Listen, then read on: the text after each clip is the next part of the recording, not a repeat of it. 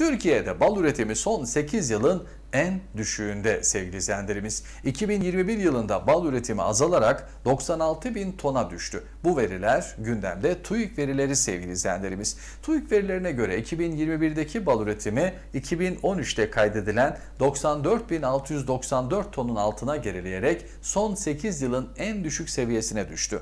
Üretim bir önceki yıla göre %7.4 azalmış oldu. İşte Türkiye İstatistik Verimi bu e, verileri, Türkiye İstatistik Kurumu verileri açıkladı ve son 8 yılın en düşük seviyesine bal e, üretiminin gerilediğini kamuoyu ile paylaştı. Hemen şöyle bir verilerin geneline bakalım. 2014'ten 2020'ye kadar olan dönemde 100 bin tonun üzerinde olan bal üretimi 2013'te kaydedilen 94.694 e, tonun da gerisine düşerek son 8 yılın en düşük seviyesine gerilemiş oldu sevgili izleyenlerimiz. İşte biz de tabii ki bu verileri TÜİ'nin verilerini sizlerle paylaşmak istedik, ekranlara getirmek istedik. Neden? Sivas olarak da tabii şehrimiz bal konusunda önemli şehirler arasında yer alıyor ki özellikle Sivas Zarabalı, Sivas'ın işte e, Tozanlı bölgesinden çıkan ballar bunlar çok önemli, çok değerli ballar. Umut ediyoruz ki bakalım 2022 yılında bu efendim düşüş yerini